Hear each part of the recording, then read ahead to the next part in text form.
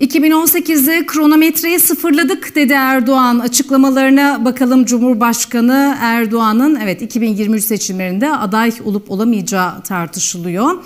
Ee, AKP MHP bloğu da işte e, aday olabilir diyor bunu savunuyor. Son olarak Denizli'deydi Erdoğan ve tabii yine hedefinde altılı masa vardı. Sayıyı altıya çıkartıp bir masa kurdular. Masayı kurdular ama masadan bir türlü aday çıkartamadılar. Denizli'de toplu açılış törenine katılan AKP'li Cumhurbaşkanı Recep Tayyip Erdoğan, seçim ve adaylık tartışmaları üzerinden muhalefeti hedef aldı. Baktılar kendileri masadan aday çıkartamıyor. Bu defa bizim adaylığımıza çamur atmaya başladılar. Erdoğan'ın bu sözleri altılı masaya nedeni ise geçtiğimiz günlerde masadan yapılan açıklama. Türkiye Büyük Millet Meclisi yenileme kararı almadığı müddetçe Erdoğan'ın 14 Mayıs'ta yapılacak olan seçimlerde bir kez daha aday olması mümkün değildir ifadelerine tepki gösterdi. Bunca zamandır bizim adaylığımıza karşı çıkmak akıllarına gelmemiş.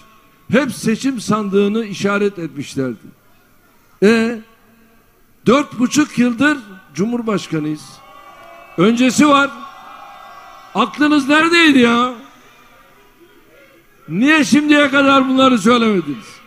Erdoğan, Cumhurbaşkanlığı hükümet sistemi üzerinden adaylığını savundu. Aklen de, hukuken de, fiilen de 2018'de seçilen Cumhurbaşkanı yeni sistemin ilk Cumhurbaşkanıdır. Esasen bugüne kadar da 3-5 medya şövmeni hariç yeni yönetim sisteminin ilk cumhurbaşkanı olduğumuza dair hiçbir itiraz yapamadılar. Erdoğan altılı masa kaos peşinde ifadelerini kullandı.